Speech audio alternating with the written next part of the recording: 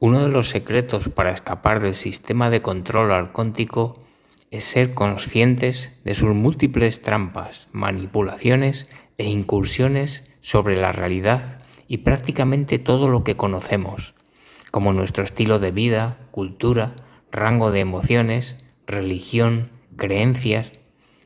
Incluso el planeta y esta realidad han sido diseñados por ellos para mantenernos en el sistema de control y en esta prisión para almas.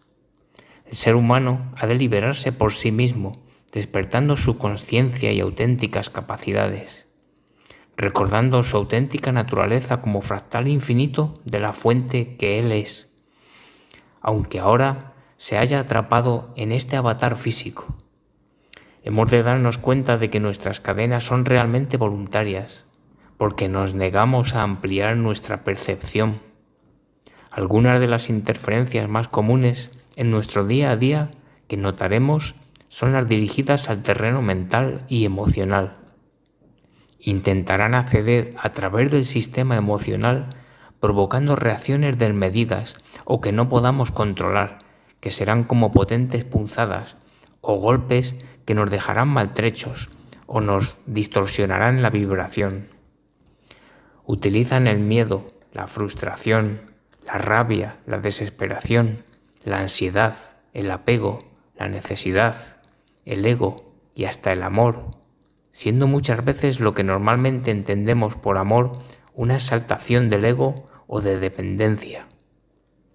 Una de las tretas más usadas es la culpa, creando una sensación de angustia y nos hacen que queramos pagar por ello.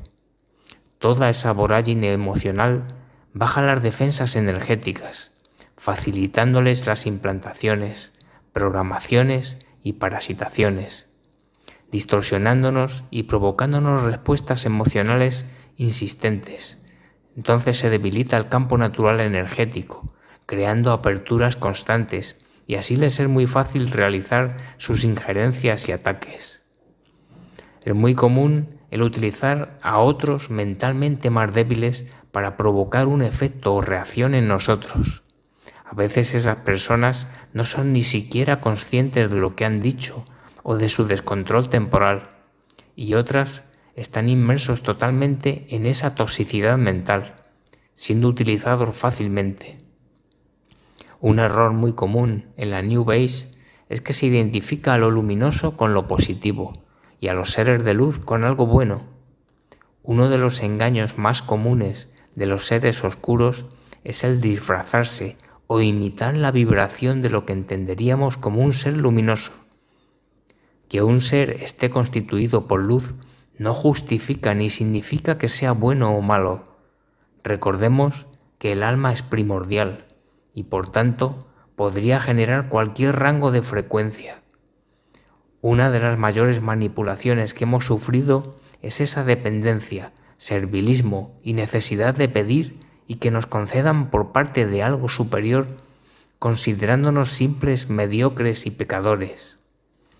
Cuando, por ejemplo, rezamos y pedimos algo, tomamos el papel de contratador sobre un contratista, volviendo a caer en la trampa sin saber qué tipo de energía, entidad o ser se otorgará a nuestra petición.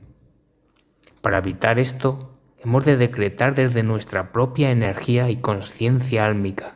De esa manera evitaremos caer bajo su control, habiéndoles autorizado nosotros mismos.